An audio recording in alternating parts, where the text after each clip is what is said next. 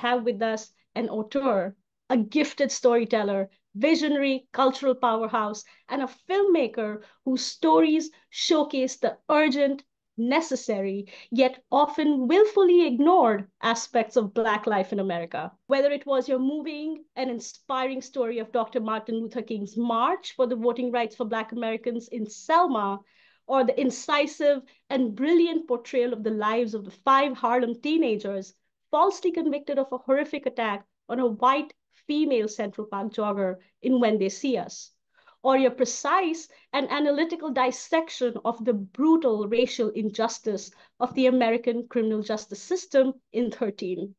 Your stories not only speak truth to power, but have also been responsible for seismic cultural shifts that have changed how the world understands race and oppression. And now you're back with Origin, a movie that has audaciously reinvented what ideas can look like on screen and has been called a masterful narrativization of the best-selling book by journalist and historian Isabel Wilkerson, Caste. Origin, as our viewers might already know, is among the first American films to depict the struggle of Dalit people in India against caste, and it does so with incredible beauty, if I may add.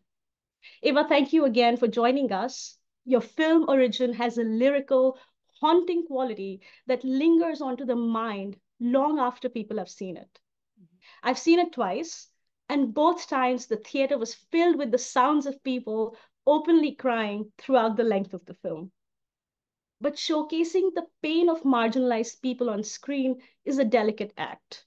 You want to honor the suffering without opening it to the criticism of being too emotional especially from people who've never experienced that pain. How did you achieve that balance? Um, well, thank you for the warm words and the beautiful introduction. I really appreciate the time that it took to do that and the intention.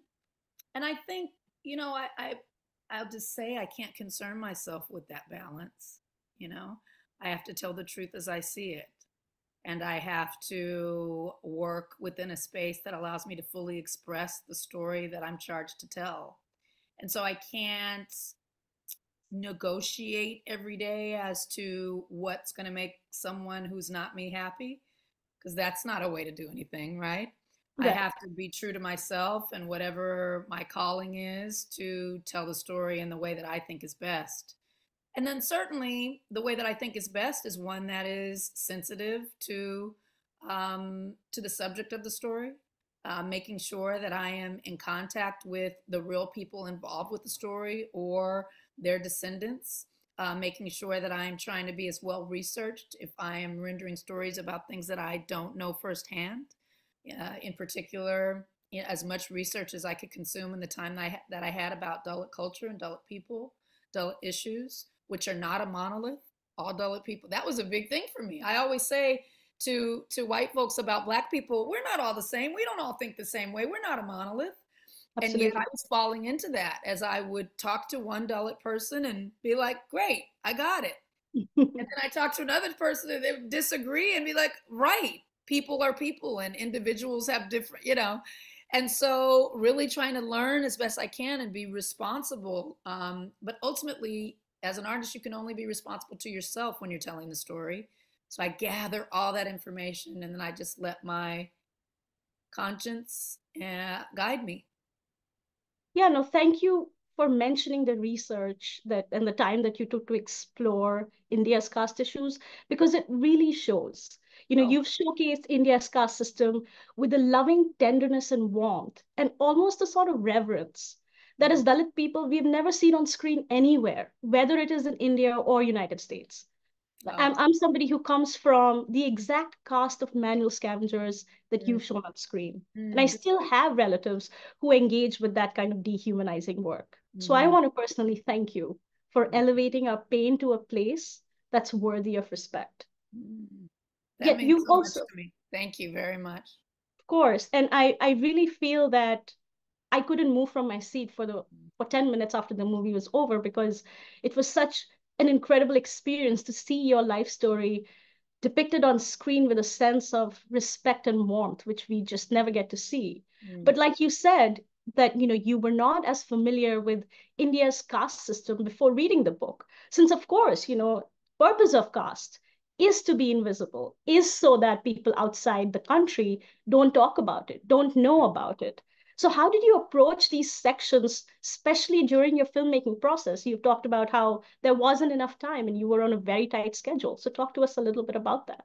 Yes, well, your words mean so much to me. I was very nervous about doing it. I regarded the work of telling the story um, of the connections between um, the the the Dalit people and Black people in America um, with a lot of fear that I was going to get it wrong, and also in the same way that we might squint at entrusting African American stories to people who are not African American. It's something that we had to do as Black people in this country in the early days of the movie industry because you know no one else was really allowed to make movies.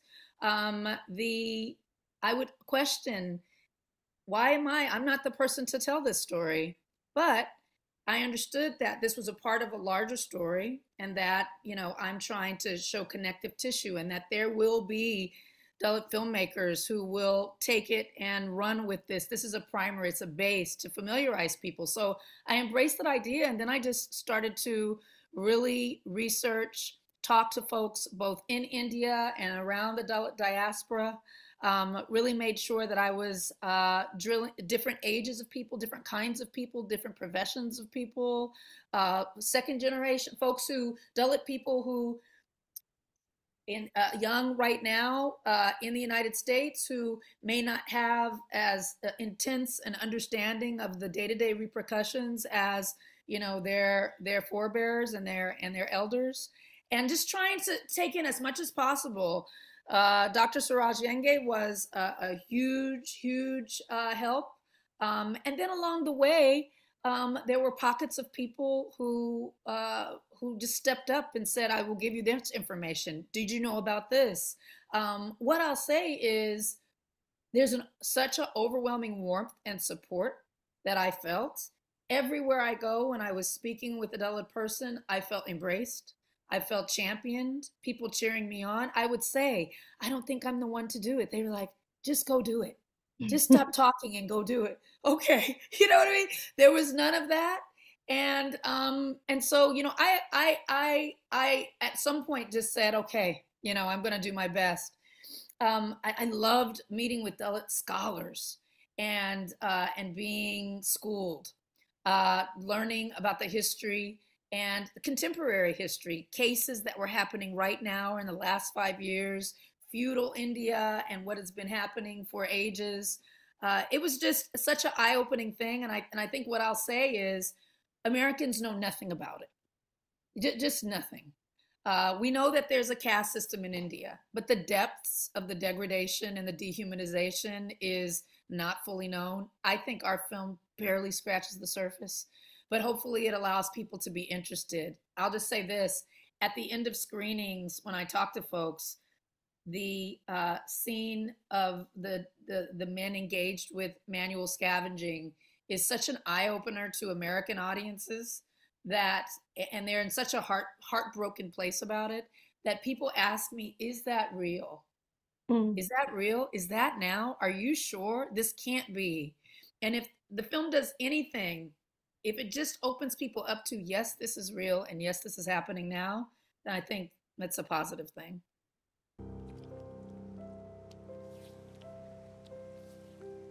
Millennia ago, Dalits were called the untouchables of India. Enforced into the degrading work of manual scavenging, the practice of cleaning excrement from toilets and open drains by hand in exchange for leftover food.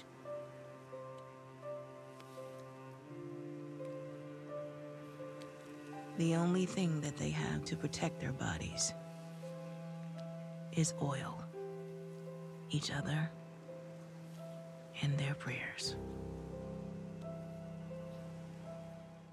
No, thank you for specifically focusing on that because it is a scene that stays with everybody, including myself. And, you know, it's been talked about. I've, as part of my research for this interview today, I was listening to your conversations, and many people want to ask you about this particular scene when we have these two Dalit men who are manual scavengers enter what is clearly, and there is no polite way to say it, they enter a tank filled with human excrement, human shit. Mm-hmm. And for those of us who are from that community, this is part of our life's reality. We know that exists. Mm-hmm. But to an average Western moviegoer, these scenes might also bring to mind another film that dealt with a similar theme, but in a completely different context. I'm talking about British filmmaker Danny Boyle's 2008 film Slumdog Millionaire.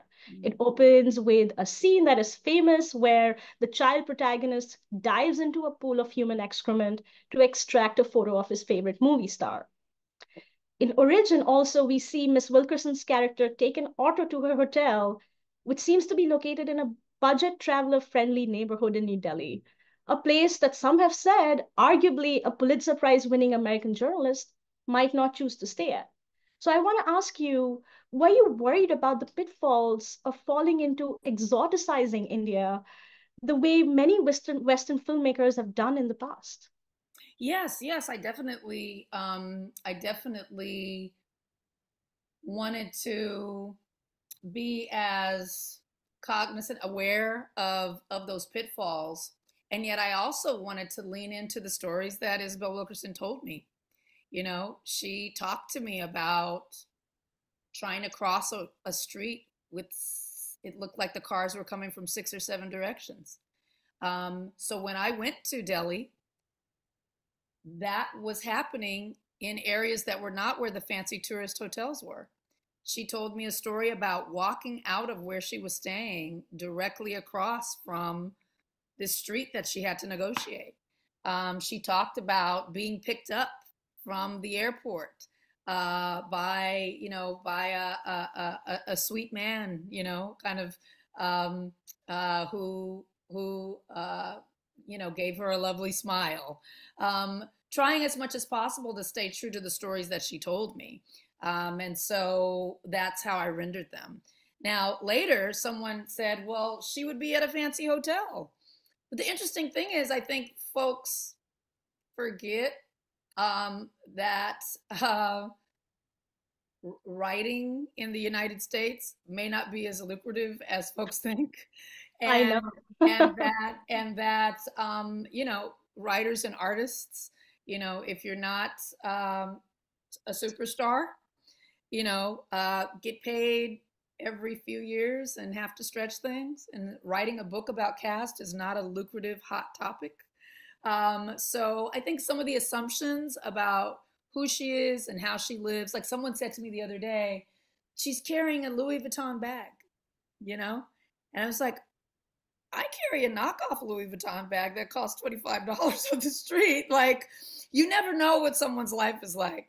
And mm-hmm. so I think those criticisms are valid or those questions are valid. But certainly it, it, it, was less about exoticizing India because I don't think it's possible. There's no place you can put a camera in India from the airport to the most beautiful hotel to, you know, any street and not find beauty to me in the faces of the people in the in the in the colors i've never seen so much color in buildings in clothes in cars in it's just it's sometimes i go to new york and i was like wow new york feels like black and white and india feels like a, a film in color feel like i'm in the wizard of oz all of a sudden it's just so electric with energy and life and so that's what we wanted to capture and um and so yeah i accept any any criticism any any thoughts that people have about it and and just want people to engage with it. You know, we don't have to agree, um, but we have to do our best, and that's what I did. No, I think that truly shows in the film. And you know, speaking of criticism, Wilkerson's book Caste has been a game-changing book. It has shifted the needle not just for racial justice, but also caste rights in America. We have this entire conversation that is now pushed into the mainstream thanks to thanks to Miss Wilkerson's book. But at the same time, the book has also received criticism from the community, and I have to be honest and upfront and say, including myself, mm-hmm. where folks felt that India's caste was used as an allegory in its own narrative, and did not receive the same attention that America's white supremacy and Nazi Germany have arguably received. However, yeah. in the movie, you seem to have heard that criticism and mm-hmm. expanded the space for Dalit narratives. You worked with Dalit academics, including Suraj, Dr. Suraj Yengde, who portrays himself in the film, and Dr. Gaurav Pathania, who's also known to many of us, who plays the role of Dr. B.R. Ambedkar. Tell us about why you made that choice. Well, I, I had heard those criticisms, and I, I think also as I read the book, I was interested in knowing more, and you know, was searching for more in the book. And and so as I did with many of the stories in the book, I would find the seed, and then I would research further and put that research or the things that were interesting to me in the movie. But certainly, I think you know one of the things that I had tried to do in the movie was to show a, a wide range of the Dalit experience. So I wanted to show the history of, of Dr. Ambedkar uh, in his early years, throughout his his his journey. Um, uh, kind of a, a, little mini biopic in the movie on him. I wanted to hear from Dalit journalists, uh, Dalit scholars. I wanted to make sure that every single person who was portraying a Dalit on screen was an actual Dalit person that it uh, these you know wasn't being portrayed by other castes in a way that was inauthentic. That took some doing to find um, but with the help of a lot of people we're able to get that done. Um, i feel that uh, I, I, wanted to fill in the gaps of some of my own questions about the Dalit experience that i'd had from the book. And i'm grateful to isabel for opening the door so that i even had had a place to go with the questions um, you know, Suraj was just instrumental, and Gaurav was like a I, I can't tell you how helpful he was beyond. I mean, I'm asking you to portray Dr. Ambedkar like not an easy task, but to do that, I said you need to you need to eat, keep eating. You know what I mean? You need to you need to you know you you, you gotta you gotta be you gotta be a giant. You have to be a giant. You have to be the hero. And um but even i making sure i said you know in the scenes where dr Ambedkar comes uh, onto the shore and he's greeting people um uh, as he returns back to india all of those people need to be Dalit people. And i'm in savannah georgia when i shoot that. Gaurav help me find Dalit people and mm. he people were driving from states around just to be there to stand there because the story meant so much to them. And the fact that that rep- rep- representation was accurate meant a lot to me. Um, they were teaching me the right way to say uh, um, different phrases. Um, they would, would laugh at me and then pat me on the back and say try again um, and um, you know gifts and books and just trying to educate me. So a long way to say um, there was a lot of intention put into it uh, and um, that was a positive intention. And again perfect no comprehensive no. Um, a, an honest attempt um, is is what is what i gave I think that absolutely shows through. And I'm so glad that, again, you mentioned that particular scene where we have Dr. Ambedkar walking on the shore and have all these Dalit people, and you can see the bond that they have. Mm-hmm. And, you know, I do want to talk about my last question about Dr. B.R. Ambedkar. You know, he is an iconoclastic leader of Dalit rights, statesman. He made sure we got an equal seat at the proverbial table in India. But while Gandhi has a massive recognition for his ideas in the West, origin is the first introduction for many people to this figure who means so much to our community. And it took a Black woman like yourself, a Black woman filmmaker, to introduce Ambedkar to the world in a way that no other white or even dominant caste Indian filmmaker has been able to do. I mm. just want your closing thoughts on the solidarity between the Dalit and the Black movements in terms of a shared struggle and shared oppression. Well, I think that the solidarity is one that would be so strong if more of us knew about each other and had a connected, a connected, a bridge to our histories. To be honest, I have a degree in African American history. Um, I uh, read so much. I'm very, very interested in in world history. I did a whole film about Dr. King called Selma. I knew that he'd gone to India, but I'd never listened to the speeches or read what he said about that trip. So I had no context about those shared struggles. You know, I never knew that Dr. Becker Ambedkar even existed. How is it possible? Such a renowned freedom fighter, such a, a, a, a, champion of, of justice. How, how can I, someone who regards myself as very connected to those struggles of people around the world, not even be aware of his name? It angered me. Mm. And and so, you know, to know that he was in correspondence, you know, in his in his younger years with African American leaders saying mm. to them, I see what you're doing. Do you see what I'm doing? Let's get to, I mean, this is intentional correspondence and connection that's been lost to us. Mm-hmm. We're, when I when I read about about these black leaders, I do not hear about these connections. So it must happen, and that solidarity must be there, uh, mm-hmm. and it can only be there if there's an awareness. And so, hopefully, if nothing else, this at least starts to make people who had never considered each other in that way think more about wait i have a connection and uh, hopefully opens the door to more to more thinking about it i'll just say one of the things that was so kind of awe-inspiring to me was learning about dr Ambedkar more than a leader regarded as more eh, i try to share with some black folk who he is to so many of the people who i spoke with and i couldn't even find a comparable person in the united states someone said, Oh, he's like our Dr. King. I said, No. He's like our Dr. King times a hundred. It, it, it, it is the way, the way people, I can cry right now, their eyes, it's a reverence. It's a reverence that it, you can't even explain, and there's nothing I can compare it to in the modern context. And uh, I don't think the film, I, I did not even know how to fully wrap my mind around that visually I hope someone one day does the story.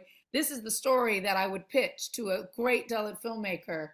It's the story of why the West has embraced Gandhi and rejected, ignored, and not highlighted Dr. Ambedkar. And as I hear it, pretty juicy story, right? Mm-hmm. The way the way you've got this young upstart doctor, and you know, you've got this, he has his, he would speak up He's yeah. going to say how he feels always, Absolutely. defending. And his- he's untouchable. And, and he's untouchable. What a! I mean, what a what a what a hero. So Absolutely. I think that, and he's young, and he's and he's untouched, and he's, you know, I, I just think, wow, I want to see that movie. So I hope someone makes it, and at least when that movie is made, some people on in America will say, "Oh, I know, I know, I know a bit about this." So consider this the trailer no, thank you so much, Ava. I really appreciate that. Putting that out in the world, filmmakers who are listening, Dalit folks, let's make that movie. But thank I, you so much, Ava. I hope so. Yeah, I look forward to talking to you again. I hope we get a chance to to meet and spend some time. Thank you for this. Thank you so much. I'm really honored, and hopefully, I know everybody who listens to this will be so excited. Thank, Thank you. you so much. Well, Origins in theaters, so find it where you can. Yes, I forgot to mention that it was on my agenda. Please find a move, find the movie theater where Origins is playing and go out and see it. We will have the dates for an India release maybe soon. But for those who are outside India, watch the film. It is necessary, it's urgent, it's crucial, and it's a masterpiece. No, thank you so much, my friend. Good to talk with you. Lovely talking to you. Bye bye. Thank you.